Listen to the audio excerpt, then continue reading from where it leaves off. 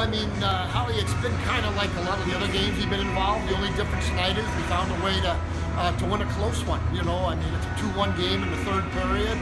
We get that big third goal, which was huge for us, and then you know two two other ones. But you know, at the end of the day, I mean, it, uh, all the games we've been in have been very close. You know, we have three or four one-goal losses that you know we really could have gone either way, and tonight.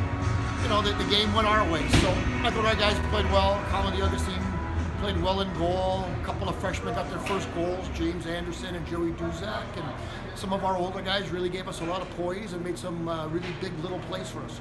It was an early goal. Um, the game was pretty even at that point, but a lot of the boys got uh, pretty pumped up by it. It first one, and then uh, we were able to pick up the momentum and uh, push down,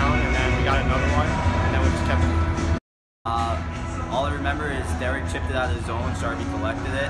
Uh, he came in over the blue line, just yelled Sarby, Sarby, Sarby, gave it to me, pulled it to my backhand, back to my forehand, and just slipped it past the full blocker there.